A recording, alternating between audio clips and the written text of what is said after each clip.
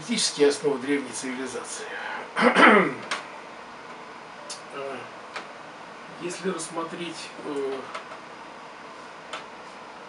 историю человечества с позицией эр, то есть эра у нас э, достаточно хорошо показана на рисунке, то есть это прецессия оси Земли, то э, я построил такую временную прямую. Начинается она у меня от эры льва, то есть это минус 8700 до лет 8740 лет до нашей эры. Значит, э, от чего я отталкиваюсь как ноль, э, ну это естественно наша эра, но все даты приблизительно, они, конечно, не могут быть точно, потому что время практически не линейно. Э, и все-таки в большинстве своем это обосновывается на иудейском календаре, на иудейской э, мифологии. Потому что единственное, что дошло до нас в более-менее структуризированном виде, это именно она. Э, многие тут не согласятся, но хочется как бы пойти сначала. Значит, э, эра льва начинается со строительства э, сфинкса и комплекса пирамид, или уже его функционирования. Что у нас в Ире Девы? В Ире Девы у нас формируются э, все-таки э, частно-собственнические отношения. Если, э, грубо говоря, уже в Ире Льва они сформировались, есть семейство, рода, то в Ире Девы их еще нет. Люди занимаются собирательством там, ягод, прочим и так далее. То есть у них многоженство, у них полигамия, у них выживаемость.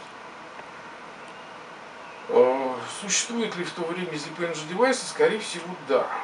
Потому что все-таки без них им было бы э, очень тяжело. Что такое ZPNG девайс? Значит, ZPNG девайс, посмотрите в интернете, это очень хорошо описано. Это, э, грубо говоря, волшебный горшок, из которого что-то вылезает или появляется. Или, то есть это девайс КПД выше ZP Energy, значит, это нулевая точка, из нее выходит энергия, ну там все достаточно просто описано. Почему, э, почему именно в эре льва начинается самое интересное и самое как бы ну, э, краеугольное? Потому что именно в сфере э, эре льва у нас появляется, ну, дошедшая до наших времен, это синхронизация. Для того, чтобы GPNG девайс устойчиво работал и давал нам то, что мы от него просим, а, требуется его синхронизация с его, синхронизация его сборки со сборкой пространства Земля. Вот это выполнял как раз сфинкс и э, комплекс э, пирамид. Э, господин Гешкардин, хоть и ленинградец, но хороший человек, достаточно подробно это все объяснил, просто он не объясняет назначение. Он говорит, что это здоровье, там, и так далее, там подобное. Здесь я считаю, что достаточно все просто, и здесь энергетика. Если у нас э, в Владивостоке и в Москве крутятся два генератора, они должны быть синхронны. Здесь то же самое. Эм, эра близнецов характеризуется уже появлением э, многоязычия, то есть это развитие языковое. То есть рода разделяются и появляются языки. Здесь также появляется культ диаскуры, который тоже Шкалин очень хорошо показывает. А, э, эра близнецов, вообще диаскуры, они как бы не исчезают, как и все остальные эры, их вехи, они продолжают являться нам в нашем пространстве. Э, эра Тельца характеризуется уже развитым земледелием, э, очень сильно поднимается злаковые культуры, технологии их не развиваются, особенно пшеница, кукуруза и так далее. То есть до этого такого огромного промышленного производства нет. Здесь в эре тельца именно развиваются эти э, технологии и появляется огромное количество как бы людей, потому что до этого э, люди не могли себя прокормить. То есть они не, не были в состоянии так сказать, обеспечить себя э, и скот. Э, эра Овна. Эра Овна э, характеризуется захватническими э, имперскими войнами, усиленными, которые достаточно бесшабашно и совершенно схоластично ведутся. То есть эти, эти войны совершенно непонятны, причины их непонятны, э, тем более нам непонятны. Ну, эра рыб, э, вот мы с ней, в ней еще продолжаем э, жить, эра рыб характеризуется как, конец эры рыб характеризуется как созданием общества потребления. То есть здесь вот эти взрывные технологии в конце эры рыб перехода в водолея, да, они Э, создали нам э, общество потребления. Значит, общество потребления, оно, э, ну, оно в общем-то, чем характеризуется?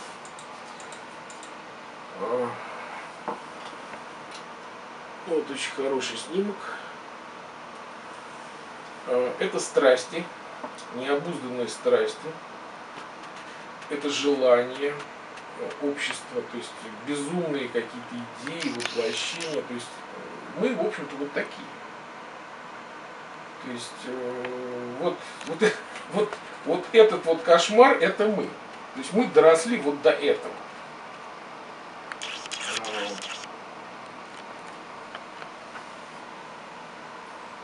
Значит, наступившая эра Водолея, ну, предположим, что она наступила 1 января 2000 года, она накладывается на эру рыб, и есть очень замечательная фреска, не могу ее никак достать, где показан какой-то чан с водой огромной, в нем рыба, и водолей льет воду. То есть э, присутствует еще рыба, но уже присутствует водолей. То есть переходность э, одной эры в другую, вот так. То есть все те технологии, которые мы, вернее, мы, мы, мы их потеряли, эти технологии, вот, они здесь у нас опять выходят наружу. И э, много уже как бы установлено.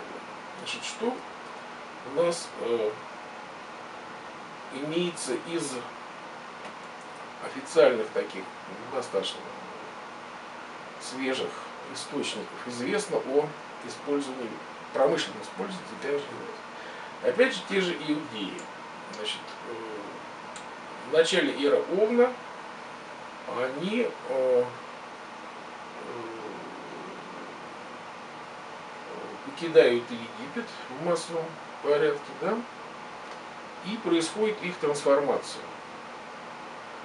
Э, то есть Моисей 40 лет водит их по пустыне, и у них есть Debench девайс. Без него они не могли просто существовать. Значит, на мой взгляд, я, конечно, уважаю идею иудаизма, все это правильно, но э, скорее всего, мне ближе всего, конечно, э, толкование э, Фрейда, где он говорит, что Моисей был все-таки египтянин. И это египетские технологии по какой-то причине вытекают, ну, уходят из Почему они бегут из Египта? Скорее всего, они бегут из Египта как неудалые эксплуата... эксплу... неудалые, неудавшиеся э, инженерии, эксплуатирующие Zipinge девайс. То есть вот эти все бедствия, там, вот эти саранча, там, кровь там, реками и так далее, это все могло быть последствием э, неправильно использования Zipinge девайса, об этом мы еще поговорим. То есть его неграмотное использование и, главное, не синхронизация ведет именно к таким кошмарным, даже большим э, разрушениям. То есть это очень опасная вещь, если как бы люди не умеют им пользоваться. И здесь у них выходит какая-то накладочка. То есть э, в какой-то момент, значит, э, вся иудейская бригада все это хорошо эксплуатирует, и вдруг бац, у них какая-то вот засада, то есть у них что-то происходит.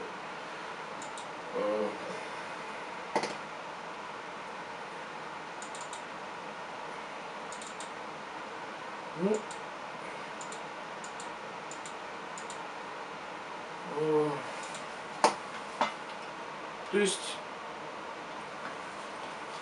иудейская история очень э, четко имеет э, представление о технологии обслуживания ZPNG девайса. То есть есть сборочный чертеж, рабочий чертеж переносного храма, то есть хранилище ZPNG девайса. Есть трактат о том, как нужно себя вести, что делать, э, тот же кашрут, это фильтр огромный, то есть э, что э, человек не должен делать, чтобы он мог потом его, к нему подходить. Вот, например, рабочая одежда обслуживающий персонал ZPNG девайс. Вот, она до сих пор сохранилась, как бы она основана на кристально-минеральном значит, планшете, который дает э, э, информацию, как бы такие варнинги, алярмы и ахтунги. То есть он предупреждает, что сейчас у нас пространство нелинейное, мы туда не входим. Ну, имеется в виду в какое-то помещение. Да? Также здесь у него было две, два камня на плечах, тоже, которые его могли предупреждать по цвету, там, по так далее. То есть вот эта вся одежда, она только новая. То есть он мог носить только новую свежую одежду. Он не мог ходить в старую. То есть матрицы каких-то прошлых э, людей, дней и так далее, все это категорически отметалось. Например, э,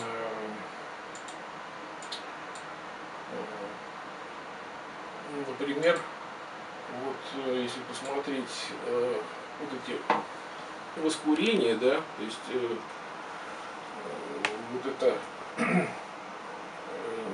поиск этого нелинейности праны, да, то есть что они делали? Они делали ускорение и по поднимающемуся дыму они определяли, есть ли какие-то нелинейности, есть ли какие-то турбулентности, есть ли какая-то нели, ну, нелинейная экстрема.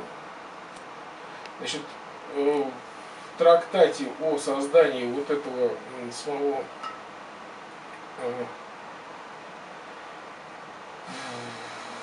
то, что горит, как бы топливо да, для вот этого дыма, э, значит, не допускалось никаких отклонений. То есть э, э, создателю этого топлива, да, ну, то есть там, там какие-то травы, там какие-то вина смешивались, так то есть за нарушение технологии грозила смертная казнь. То есть настолько было как бы все строго и потому что малейшее как бы отклонение может вызвать какие-то вспышки, там, ну, нелинейность, и человек будет думать, что здесь что-то происходит нелинейно.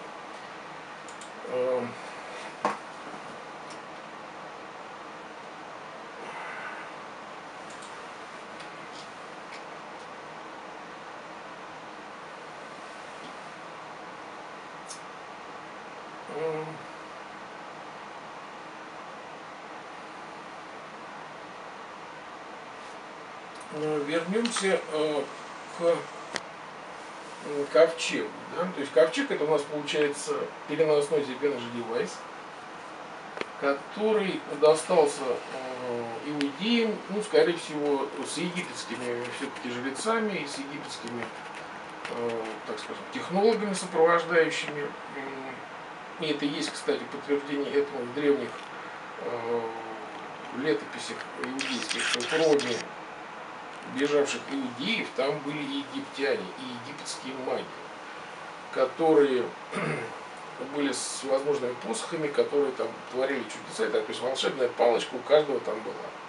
Вот, то есть, э, значит, ковчег э, представлял себя очень сильный э, девайс, это был такой трансформатор мощный, э, прановый, В основном он предназначался для, ну, он предназначался для э, создания каких-то пространств. То есть э, они им делали урожай, они им делали, э, защищались от врагов. То есть он мог э, выполнять мыслеформы, он мог э, их защищать. То есть э, если посмотреть на древние э, фрески, знаю, сейчас просто их нет, они э, с ним и завоевывали потом пространство на,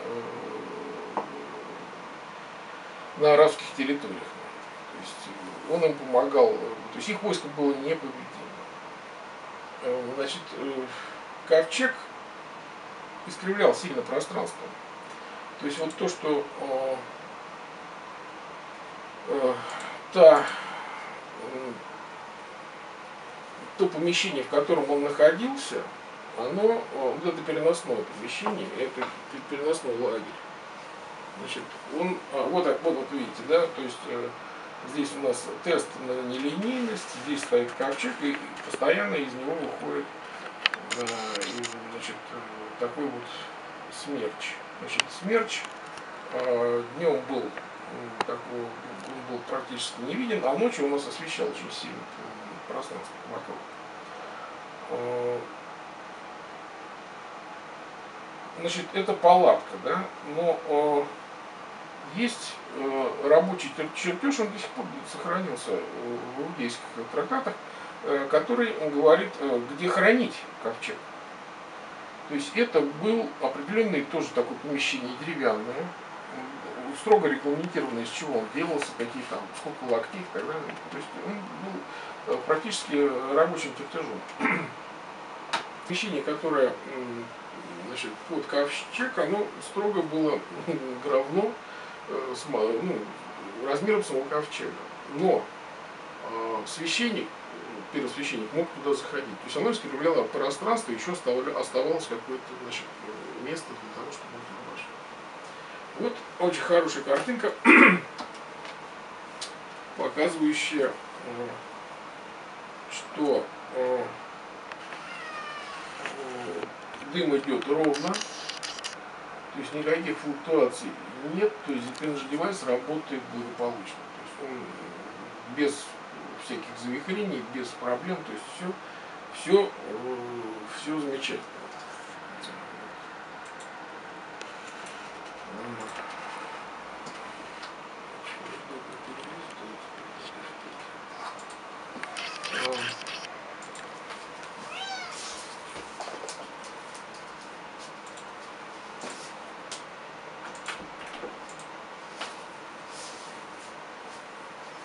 Первосвященник, то есть экипаж обслуживающий ZPM же девайс, каждую секунду рисковал своей жизнью. То есть э, вся система, которая была выработана, э, кашрут и так далее, то есть это, это был огромный энергетический фильтр, который э, заставлял понижать энтропию человека. То есть нельзя было есть там определенную пищу, нельзя было там, то есть куча было ограничений, которые все сводились к понижению энтропии. Ну, если рассмотреть график энтропии человека по жизни, то он рождается, энтропия у него высокая, потом она падает, какие-то болезни у него там вызывают всплески энтропии, в конце жизни она у него только растет энтропия. Да? То есть чем выше энтропия, тем э, нестабильнее его состояние. А, вот. Э, здесь рисунок показан достаточно неправильно. Но вот первосвященник э, делает ускорение, проверяя, есть ли нелинейности всевозможной в работе или нет. У него к ноге вот здесь привязывалась веревка. И э, в случае каких-то флуктуаций просто ну, он погибал. И э, люди, э, которые с ним вместе работали, они вытягивали его за ноги. Или то, что от него останется. То есть не всегда это был человек. Ну, это отдельная тема для разговора, то есть что происходит э, с обычным человеком, когда он а, работает с VPN девайсом, то есть какие могут быть страшные последствия, здесь вот, у него была привязана веревка.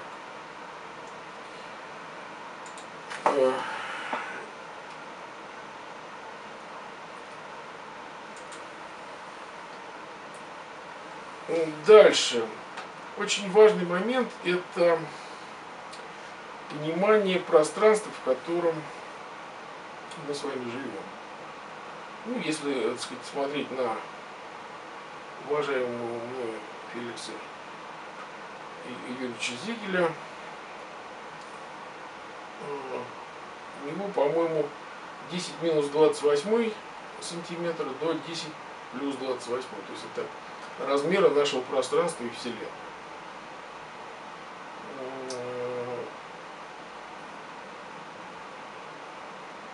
Древние считали, что Земля плоская. Э, ну, она была плоская у них в виде блюдца, в виде там, может быть, даже седлообразная она была, стояла там на всяких животных и так далее. В этом есть доля правды. Значит, э, почему э, мы сейчас подошли опять к модели плоской Земли? Ну, потому что появилось огромное количество дешевых э, точных приборов, которые позволяют нам провернуть теорию сферообразной Земли. Значит, что нас заставляет думать, что она сфера или там, другая какая-то, шарообразная. А, существует, есть э, как бы ряд ZPNG девайсов, которые собирают наше пространство. А, ну, одни отвечают за информационную качество сборки, другие чисто за безопасность. Вот на севере стоит ZPNG девайс, э, который делает из плоской земли, э, зацикливает пространство в сферу все ругаются, бьются, говорят, что одни говорят, что она плоская, другая, что она сфера. И те, и те правы. Почему? Потому что она на самом деле плоская, но вот этот ZPNG девайс, который, ну, грубо говоря, земля Санникова и так далее, то есть это может быть небольшой остров. То есть для ZPNG девайса не нужно много пространства. Он тупо собирает ее и ограничивает в сферу. Если ему надо, он его хоть в кубик соберет. Ему это не, ему это не проблема.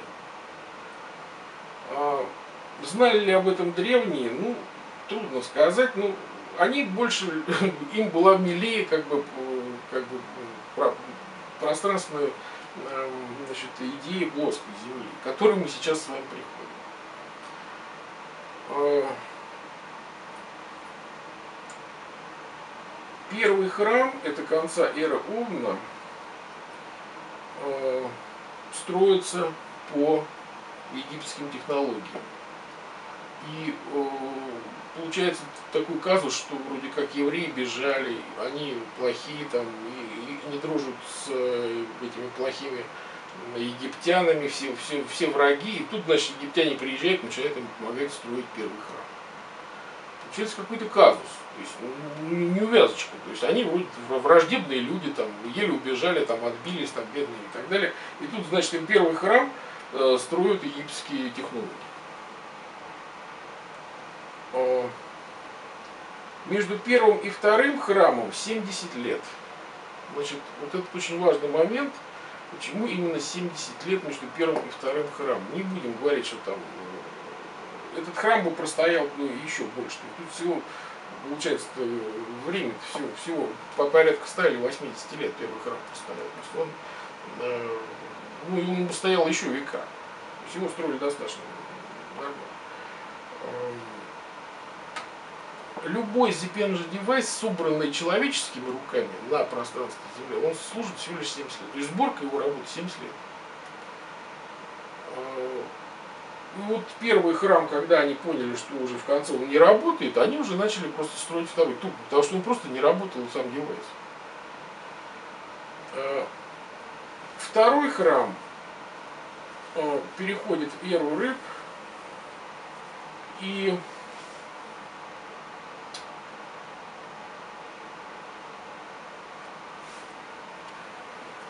Второй храм э, переходит в эру рыб. Ну, в общем-то, он и э, создает эту эру, то есть он позволяет э, перенести технологии. И его э, разрушает Вавилон. Ну, скорее всего, он его смог разрушить только потому, что Zipenge девайс уже просто был нерабочий. То есть он, они, Вавилон туда близко даже не подошел. От него ничего не осталось, от самого Вавилона. А, значит, что мы здесь видим, какие признаки, какие артефакты, какие памятники доходят до нас отголоском о неправильных эксплуатациях, то есть о последствиях эксплуатации Zipenge девайсов. Значит, здесь у нас получается что? Здесь у нас получается вот э, Святой Кристофер, это человек, э, человек с собачьей головой, да? Это орки всевозможные, тролли, кентавры, там эти шреки там, и, так, и так далее. Да? То есть э, какие-то черти, то есть какие-то вот эти вот всевозможные тролли, вот эти все огромные сказки про них там, и так далее, все это на самом деле есть. И, и было потому, потому что вот эти все девайсы, они использовались. И вся нелинейность, она получалась, они, это бывшие люди, то есть это, это бывшие люди, которые сказать, превратились в них. А, если э, смотреть э, да, и здесь же у нас получается э, первый каббалист. То есть каббализм, э, каббализм это бригада расчетчиков, которые, даже были города каббалистов, то есть, которые рассчитывают правильную эксплуатацию. То есть если не будет каббалистов, то будут вот одни вот эти вот.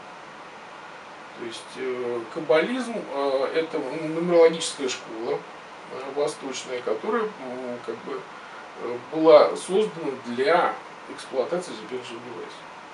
Из нее потом выходит западная ветвь, это школа Пифагора,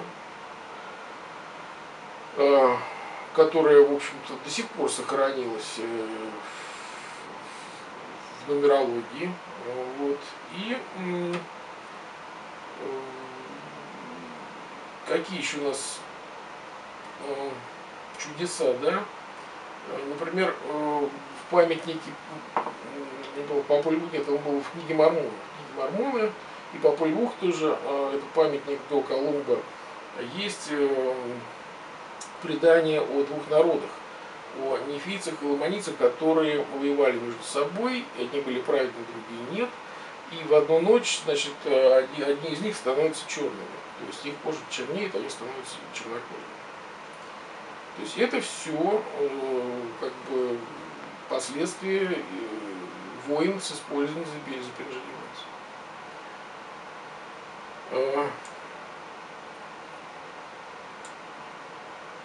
Европейские каббалисты, ну, они, скорее всего, это все-таки такая школа без э, ZPNG девайсов. Почему? Потому что вот здесь их все вырезали. То есть вот здесь э, вот здесь идет инквизиция, она вырезает все последствия, и все, все, она уничтожает все запряжные девайсы и все их э, последствия.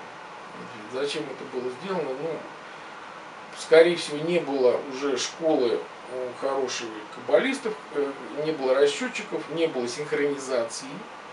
И вот эти ведьмы всевозможные, вот это уничтожение ведьм, потому что, ну, они повышали очень сильный фон энтропийный в Европе и вообще. То есть они, как бы, не умея, не умея все это делать, они просто, ну, инквизиция была вынуждена это делать, ну, таким ужасным, конечно, способом, но и ничего не оставалось. Вот, она там, как Сталин, резала их там направо, налево, и, и правильных, и неправильных, но э, свое она сделала. То есть она практически удалила все запинжи девайсы, остатки, какие-то ну, бросовые какие-то уже, то есть э, производные с них и так далее. Вот ну, как э, специалисты по всяким ядерным этим делам, они находят а, радиационно фонящие штуки, забирают их, дают им психобашки и уезжают. Ну, то есть, ну, ну, так, примерно то же самое. То есть они собирают э, энтропии, повышающие все, всевозможные девайсы.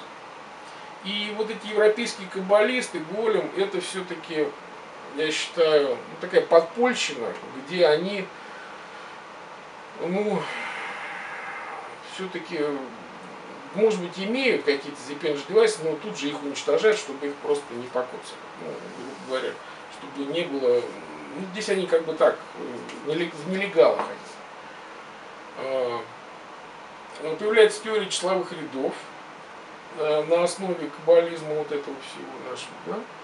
Э, здесь математика уходит чисто в расчетную э, сферу и уходит философия математики.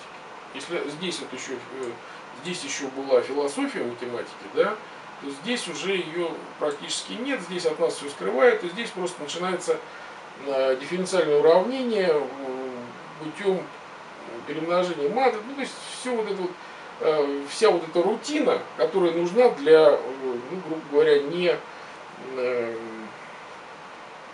не, не числового решения дифференциальных уравнений.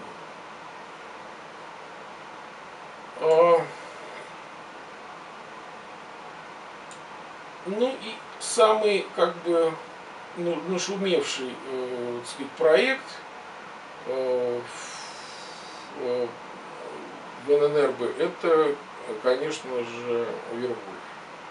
Вервольф это ZPNG девайс, который, в общем-то, действует, который, ради которого создавалась Вторая мировая война вот, ради него, потому что немцы побежали на Украину и, в общем, бросали все и э, бросили Барбаросса и так далее. Ну, то есть все было направлено вот на, на создание вербы.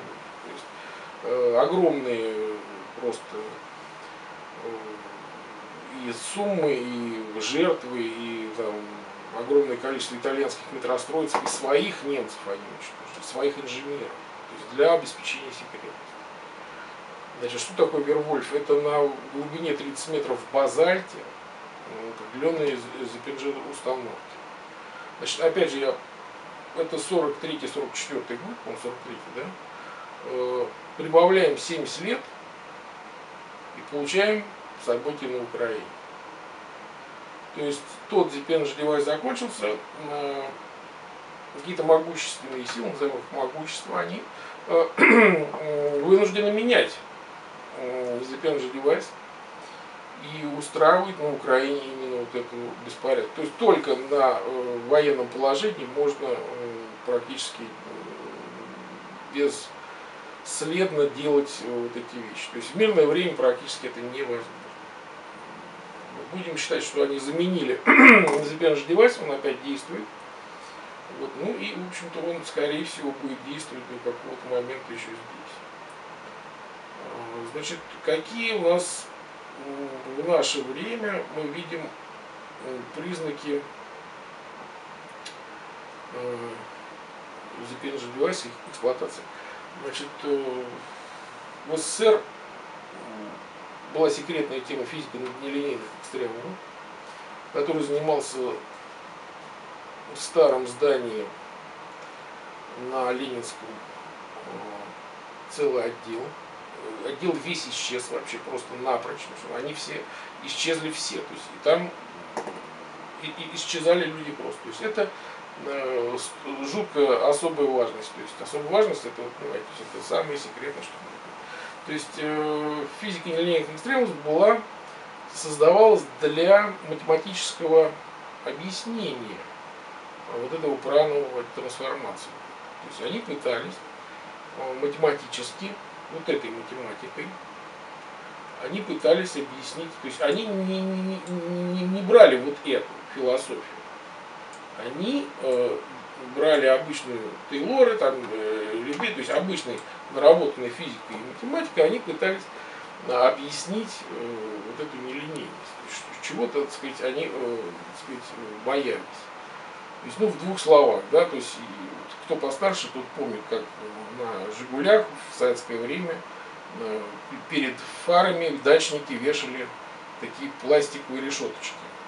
Вот. Я долго думал, зачем это нужно, но когда я поехал в 4 утра, значит, в 5 э, по полю, я понял, что эта решетка нужна. То есть решетка давала не линейность, она давала э, э, то есть квадраты эти, да, и э, дорога абсолютно серая. То есть нелинейность э, можно вычислить только, только линейность. То есть когда мы вешаем на фары эту линейность, то есть сетку вот эту квадратную, да, то мы видим все выбоины, ямы и скаты с нашей дороги.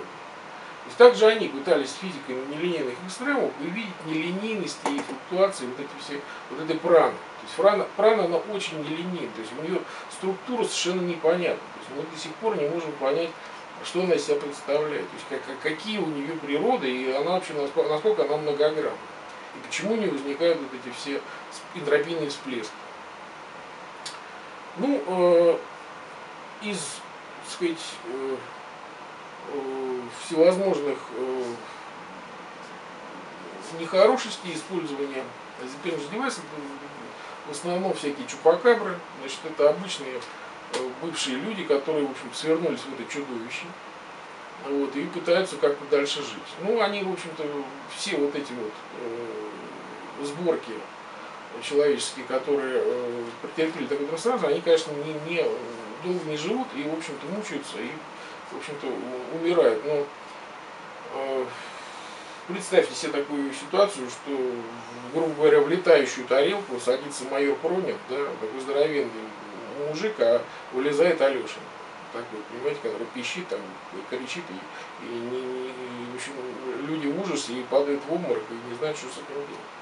Ну, вот, и главное, что сказать его жене, они не знают.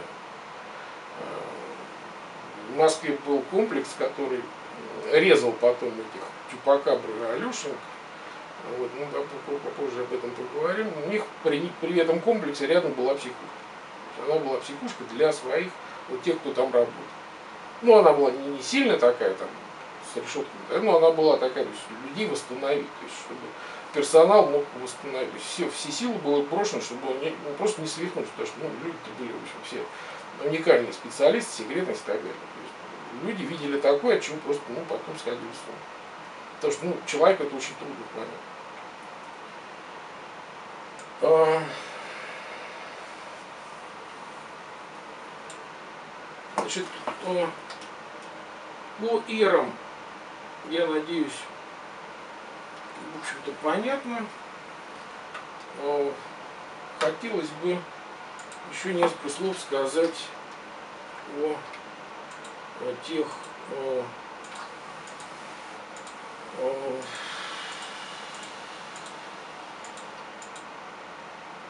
вот, вот иудейские войска идут, завоевывают пространство. Это. Вот они здесь вышли на Синай. А, вот, и им надо завоевать пространство. Вот, им, им ничего не остается. Вот, здесь арабы бегают, э, они, общем-то, не особо дружелюбны к ним. Им нужно просто вызывать пространство, построить города. И вот они идут э, как бы вот этими полчищами. Вот э, это, например, учебник, это учебник, это вот такой букварь. Букварь по Библии. Вот эта чаша с валами. Значит, почему здесь валы эти стоят, да? Вот это первый или второй правда? Вот опять войска иудейские идут завоевывают. Видите, у них в центре стоит Зепенж девайс. А. Вот мы видим тельца. Вот телец у нас. То есть мы э, здесь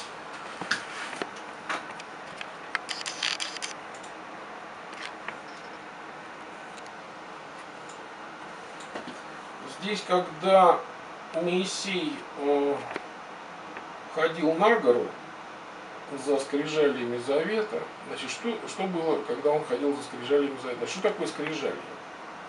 Значит, скрижали это были геометрические формы, которые лежали потом э, в ковчеге.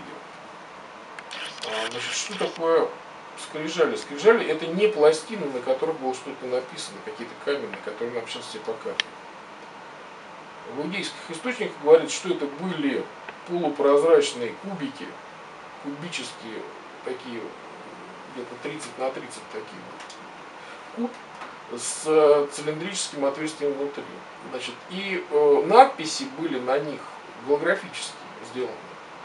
Э, так, что их можно было видеть со всей стороны. То есть э, он как бы, надпись, ни с какой стороны ты не смотришь, она была одна и та же. Это очень, очень сложная какая-то ге, голографическая, геометрическая форма, которая являлась самим ну, как бы ключом вот этого Energy Device. Их было две. Э, две пары, значит, одну пару Моисей разбил. То есть, ну, в иудаизме он э, разбивает э, эту, эти скрижали э, и объясняет это тем, что иудеи перестали его слушать и стали поклоняться тельцу. Ну, то есть он ушел буквально э, на гору и сказал, что через 40 дней вернется, а его не было там месяца полтора или два. То есть туда, куда он ушел, пространство текло по-другому. То есть он там был, может быть, день или там несколько минут, а там уже прошло ну, несколько месяцев. Поэтому иудеи перестали его ну, ждать, думали, что он уже все погиб или бросил их и так далее. По каким-то данным, э, сам Моисей был чуть ли не пятиметрового роста, огромный, совершенно не мог говорить на иудейском языке. А, говорил его брат, то есть он все говорил через брата.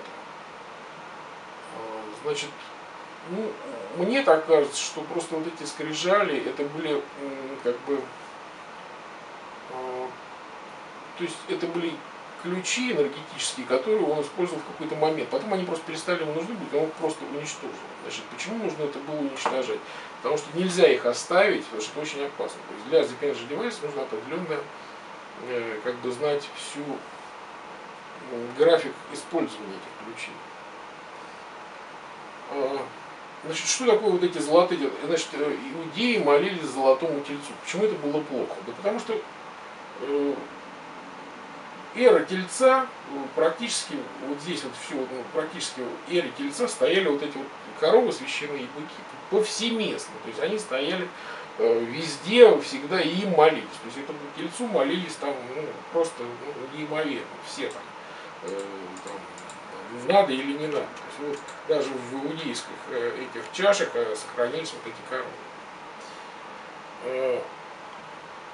Э, Эра Овна, я считаю, начинается, кстати, в последнем вот фильме «Исход» американском, там очень красиво показано это. Она начинается с того момента, когда иудеи мажут кровью ягнят свои жилища. То есть кровь ягненка, то есть это что, это барашек молодой, да, то есть это, это овен, э, он э, как бы, они переходят в другую эру, то есть э, иудеи переходят в этот, этот рубеж, и, и вот этого ягненка, которого они значит, убили, покрыли кровью его свои двери жилищ, вот это как бы ну, этап. То есть я считаю, что это где-то вот здесь, да, то есть, ну, Э, здесь, э, значит, мы видим, что мы видим э,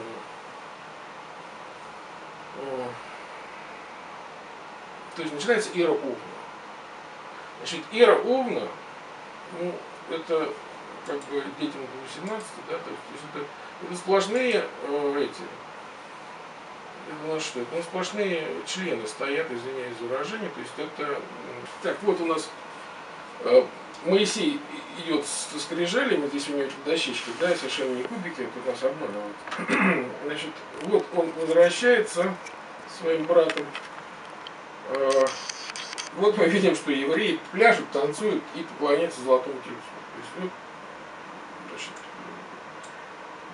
эра тельца. Да, эра тельца, она и как бы и символ ее это телец. То есть, а, значит, он негодует, что они как бы от него отходят, а что, он ушел, он их бросил, он, так сказать, ну, провел огромное количество времени, что-то там, и они его уже не ждали, они думали, что он уже все погиб и так далее. То есть они возвращаются в ту э, систему ценностей и, и, религии, в которой, в общем, находится это просто. То есть это вот, вот такая вот языческая, значит, ситуации, вот, где все славят э, веру тельца, плодородие, земледелие, и они этому молятся, рады и так далее. Так Вот даже значит, есть жертвоприношение этому тельцу, значит, этих младенцев там бедных, там, тельцу, значит, в угоде там уничтожают и так далее. Ну, в общем, тяжело, конечно, там. Вот опять же, вот, тоже еще хорошая картина. Вот, вот, вот, значит, вот, вот он идет, негодует, вот, и сейчас разобьет эти скрижи.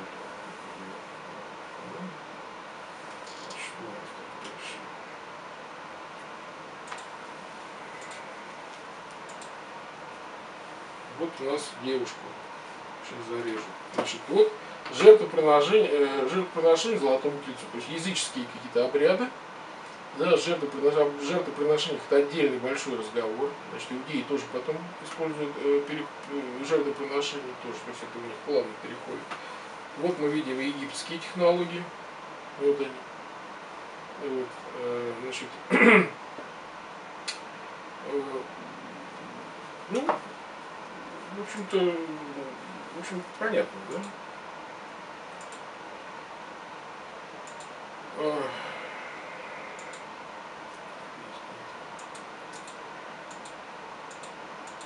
Значит, Ира э, Овна. Ира Овна вот повсеместно, повсеместно, это до сих пор стоят. Значит,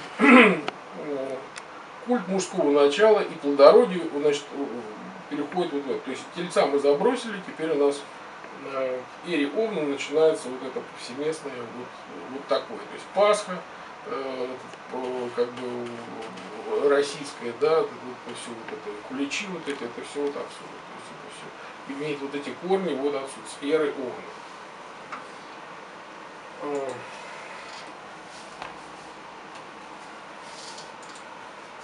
Вот еще. Вот они везде тут стоят. В Европе их видно. Так, это у нас телец. А, вот очень интересный момент.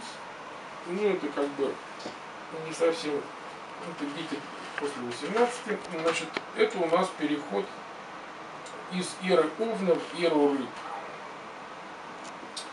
Вот, значит, у нас эти члены несут влагалище. То есть эра рыб характеризуется вот женским началом. То есть рыба это женское начало. Вот, а, и до средневековья эта рыба везде. То есть она везде там фигурирует. Вот. И вот как бы символизм перехода из эры Овна в эру рыб.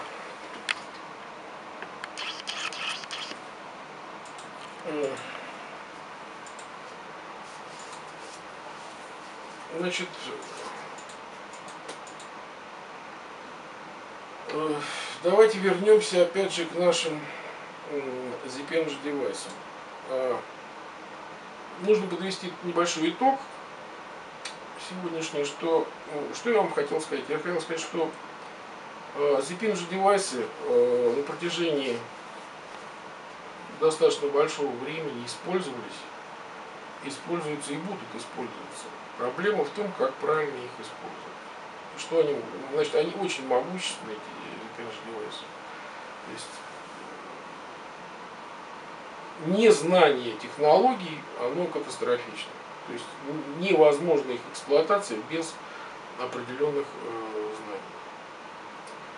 Э, ими обладали древние, мы э, утратили эти, э, совершенно утратили эти технологии, нам сейчас придется все это дело восстанавливать.